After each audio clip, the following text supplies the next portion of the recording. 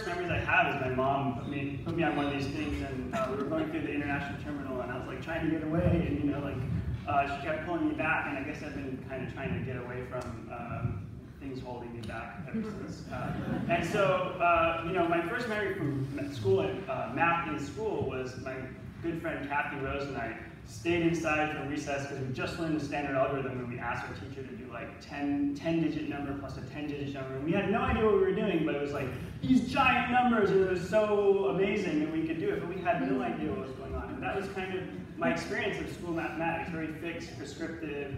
I was okay at it, but it wasn't really, it didn't really drive me. And so I had this other experience. My father, uh, which was the reason we immigrated, he wanted to do research in uh, biophysics. And uh, here's uh, me with the rat tail. Uh, and, uh, you know, there's a four-day course on chaos and fractals and arrhythmias that uh, my dad gave in Argentina. He came back, and this was the, the, mathematics in my father's life, and it was so different. It was visual, surprising, open, creative, uh, and it was such a such a, a, disconnect between what I was seeing in school and what I, I saw from my father. It wasn't really until geometry that I got a small taste of of what mathematics really was, is really visual uh, and, and, and something I could connect to. And uh, it was the, the idea that mathematics was creative.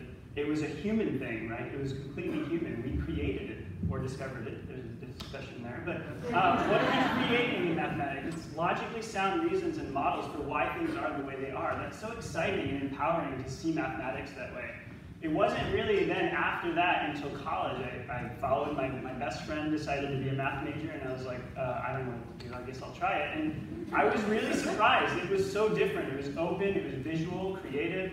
It wasn't about like answers. It was about proving why things are the way they are. And this was like, it was like amazing. It was a cosmic brain explosion. Like all of a sudden, there was this Grand Canyon of mathematics that had been hidden and invisible for like my whole life, except for these glimpses that I had um, along the way. And it's so sad to me that so many kids turn away from mathematics before ever getting to see this world. And it was this stark contrast between the vast, beautiful world of mathematics I discovered in college and with my father, uh, and the dry, cold mathematics that I saw in school that made me want to become a teacher in mathematics. And I, I have this question, what is holding us back for sharing this with kids? Is it the Common Core standards? Is it the eight mathematical practices? Are those the most valued things to keep us away from that? Is it the SAT, the ACT? I don't know. What role does high stakes testing play in what gets valued in schools? Who controls this? I, I think that we're at a point where we should question high stakes tests and what that, what that is doing to our practice and to our world. Whether we want to admit it or not, at the end of the day, we all have high stakes standardized tests in our minds when we're trying to decide what we can really do with our kids. And it's limiting our freedom. And I think we should talk about this. It's not something that we talk about enough. We must reform the high stakes test. I think that it's, whether it's time, whether it's collaboration, whether it's, there's so many things that, that, that we see wrong with these high stakes tests. And part of it is that, you know, it's a gateway for so many kids to higher education. And why should it be that? Okay? Is it, is it that they're going to use that math in real life? Who are we to say what each unique person is going to use in their lives? It's different for each person. And then what about the rest of mathematics that's not part of these two things? Should kids get an opportunity to explore mathematics? There's gold in these parts. The areas that are not part of K through 12 school and are not part of everyday life. For example, I think every child should get a chance to cut a Mobius strip in half and be like, what the heck just happened? What's going on?